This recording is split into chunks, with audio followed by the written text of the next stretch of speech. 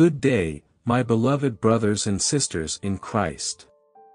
Today, I would like to share with all of you a message from Medjugorje, which warns people about the happening of the event called Three Days of Darkness in the rest of 2023. Before we proceed to the core of the message, may you not forget to like this video and subscribe to this YouTube channel so as to be able to access the latest messages from above. Stay with us and listen to this video until the very end. God has a blessing with your name on it. Type Amen if you believe so and recite this short prayer to our Blessed Mother.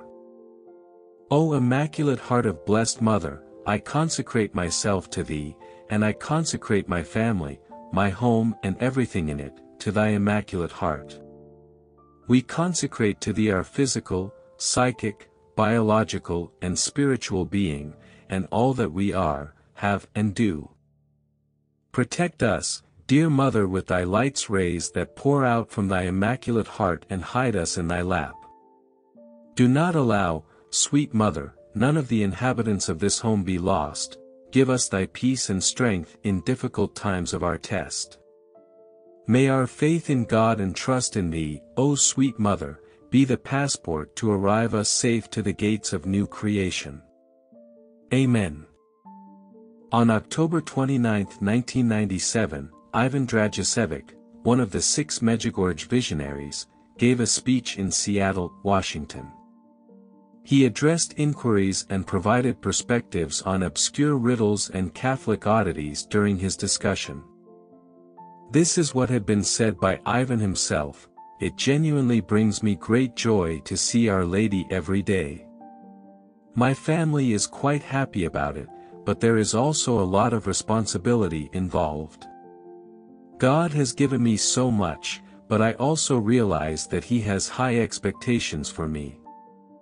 And trust me when I say that it is quite challenging to see Our Lady, appreciate her, celebrate with her, and rejoice with her, then return to this world.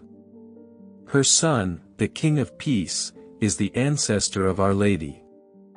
Our Lady arrives to show us the way and the path by which we can approach her Son and ultimately, God. She wants to grab our hands and lead us to God and to serenity. Dear children, if there is no peace in the human heart, there cannot be peace in this world, she writes in one of her messages. You must therefore ask for serenity through prayer.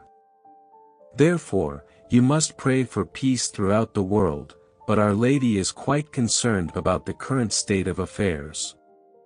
My son has sent me to you, she replied, so that I may assist you. Dear children, there must be harmony between God and humanity.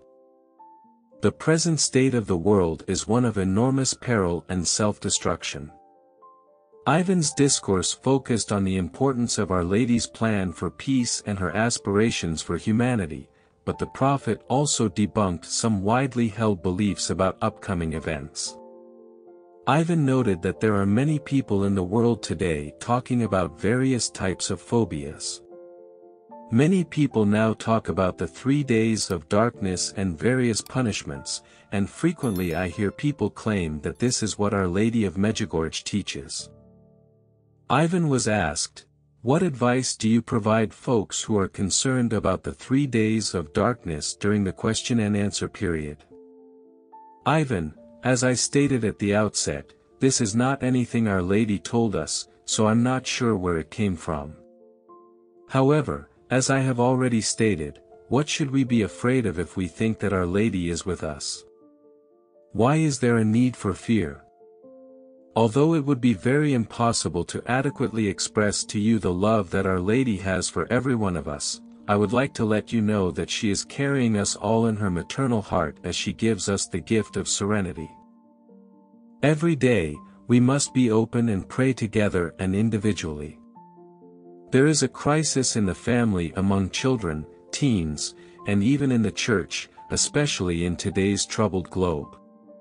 The crisis of trust in God is currently the most significant crisis. Families have alienated themselves from God, which has caused people to do the same. It's Our Lady speaking. It is God's grace. Remember, O most gracious Virgin Mary, that never was it known that anyone who fled to their protection, implored thy help, or sought the intercession was left unaided. Inspired by this confidence, I fly unto thee, O Virgin of Virgins, my Mother, to thee do I come, before thee I stand, sinful and sorrowful.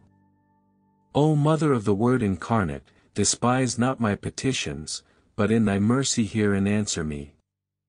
Amen. To you, O blessed Joseph, do we come in our afflictions, and having employed the help of your most holy spouse, we confidently invoke your patronage also. Through that charity which bound you to the Immaculate Virgin Mother of God, and through the paternal love with which you embraced the child Jesus. We humbly beg you graciously, to regard the inheritance which Jesus Christ has purchased by his blood, and with your power and strength to aid us in our necessities. O most watchful guardian of the Holy Family, defend the chosen children of Jesus Christ, O most loving Father, ward off from us every contagion of error and corrupting influence. O our most mighty protector, be kind to us and from heaven assist us in our struggle with the power of darkness. As once you rescued the child Jesus from deadly peril, so now protect God's holy church from the snares of the enemy and from all adversity, shield, too, each one of us by your constant protection, so that, supported by your example and your aid, we may be able to live piously to die in holiness, and to obtain eternal happiness in heaven. Amen. Let us also recite the act of contrition together, that our Lord by his most precious blood and sacrifice on Calvary may cleanse of all our iniquity and sin, and grant us the grace to feel truly saddened and remorseful, for all the transgressions and sins that we have committed intentionally and unintentionally. That he may also give us the grace to do all the necessary penances, and never commit these grievous sins anymore. O oh my God I'm heartily sorry for having offended thee, and I detest all my sins because of digest punishments, but most of all because they offend thee, my God, who art all good and deserving of all my love. I firmly resolve with the help of thy grace, to sin no more and to avoid the near occasion of sin. In the name of the Father, and of the Son, and of the Holy Spirit, Amen. Thank you for watching and may God pour down an abundance of graces and blessings upon all of us. Till next time, Stay blessed and keep praying.